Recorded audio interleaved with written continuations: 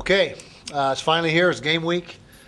Um, very pleased with our football team's preparation, uh, not only during fall camp but all, all off season long.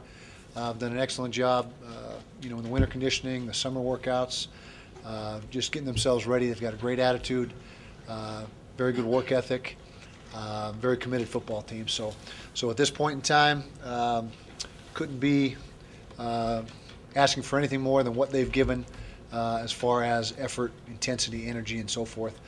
Um, so you know we're, we're uh, very healthy at this point in time, as healthy as we could hope to be. Um, you know, relative to uh, coming out of two a days, you know, just some bumps and bruises that apparently have all healed. So, so we uh, should be at full strength going into this game, barring anything uh, unforeseen this week, which is, which is a big positive. But uh, you know, it's a it's a great opportunity for our players, our coaches, to go to the Big House. It's one of the great venues in all of college football. Uh, I had the opportunity to go there in 02, I believe it was, was the last time we were there. Uh, hard-fought game, defensive struggle.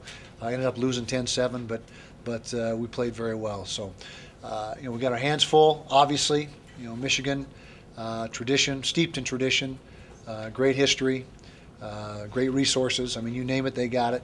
And uh, you know, it's just a, a place that, or a, or, a, football team that that is going to be very challenging for us.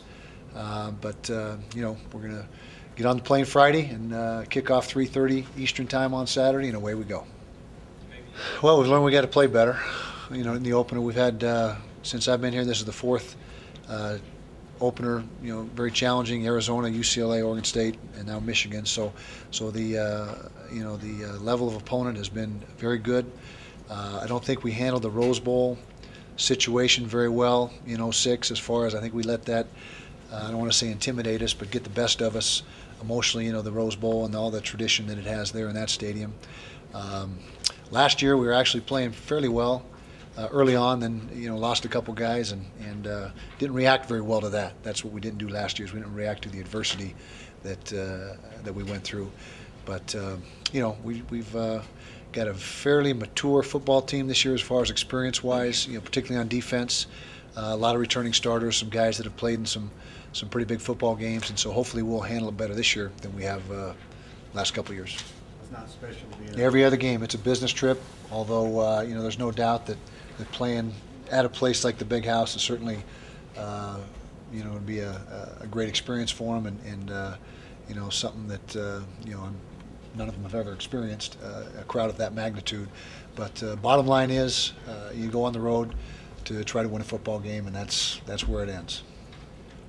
Well, any opener has its you know, is a very unknown commodity regardless of the circumstances, uh, particularly so when you've got a new coach and new schemes and so forth being installed. But, but any opener in and of itself is a best guess scenario. Um, what you do in a situation like that, uh, first of all, it's, it's uh, positive for us in the, uh, from the aspect of both offensively and defensively, talking about Michigan now, a great deal of similarity to what we are offensively and defensively as far as schematics. And so that's that in and of itself, and that works both ways. It's good for Michigan as well because you know there's a lot of common ground there. So when you're working against your offense or your defense all during spring ball and two a days, it gives you good preparation for your upcoming opponent. But um, what you got to do is go into this game with a very uh, broad-based game plan on both sides of the ball. Uh, two or three series into the game, you'll get a good idea of what what your opponent's trying to do and what the what their game game plan is. And then of course, football's a game of adjustments, and you got to make your adjustments at that time, and uh, you know fine tune your you know, what you're doing based on what you're seeing. Well, what we've done, um, obviously, Coach Rodriguez coming from West Virginia, we have the West Virginia season, uh, you know that we've studied uh, intently and uh, dissected uh, from every every uh, point of view. Um, offensively, you know, for our defense, their offense. Uh, defensively, uh, as far as Michigan, go, Michigan goes, Stanford is where their coordinator comes from, and so we have the entire Stanford season for our offensive coaches, and they have been uh, studying the uh, obviously the schemes from the Stanford films. Personnel-wise, you go to the Michigan tapes. You know, there's a lot of obviously a lot of returning starters. They have a lot of new faces on offense, but defensively, I think they have eight starters coming back, and so so it's a combination of those three things. Our defense looks at West Virginia, our offense looks at Stanford, and overall we look at Michigan just for the uh, the personnel that we're going to face. Uh, speed, physicality. You know, they're very good defense, uh, particularly in the front four. Three of the front four returning starters, I believe. Um, secondary, they got good sized corners. You know, six foot. You know, typical Big Ten corner, six foot, 190 pound corners, and uh, a great deal of uh, athleticism on that defense. They're going to be very good on defense. We don't uh, have any doubt about that.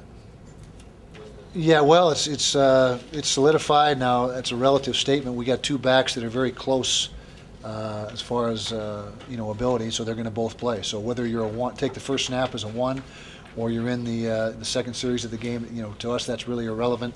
And we have those situations both at running back, left guard. Caleb Schlauderaff is our starter, but Corey Seiuli will play. Um, perhaps the place that uh, we're not completely solidified is defensive tackle. Aaron Tonga, we're getting him back to practice today, and we'll see what kind of uh, progress he can make in the next two or three days to determine who the who the rotating guys are at that defensive tackle position. But everywhere else on the football team, we're pretty solidified.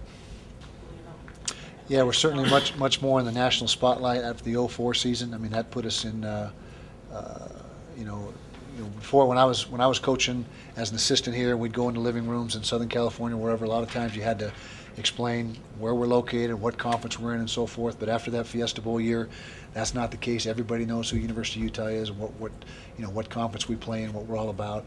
And so, uh, and plus what that was 02, so uh, what five bowl games later, five bowl wins later, and so I think that that uh, certainly University of Utah is much more of a household name now than it was back in 02. Well, you, you know, not only for ourselves, but the conference. You know, the conference is always talking about gaining respect and, and uh, you know what you do or how you do that is you is you is you beat high quality, you know, high caliber non-conference opponents. So there'd be a lot of a, a lot of uh, positives coming out of a win. But uh, you know, one game never ever makes or breaks a season. You know, that's, just, you know, you can't. Uh, I don't believe in that uh, theory that uh, you know any one game is going to completely, you know, do it for you or, or uh, make the season a, a, disaster. And so what we got to do is we got to go play well. That's our that's our objective is go play our best football. And uh, you know, like we talked about, we haven't been able to do that last couple years in our opener, and so that's important for us to go out and play uh, good good football. Well, I think that's very important. I mean, wins and losses are obviously important. They're, they're, they're important. Every week is is uh, is huge in college football. But um, you know, I think yeah, that to answer your question, yeah, it's important for us to go out and execute and play our best football on Saturday.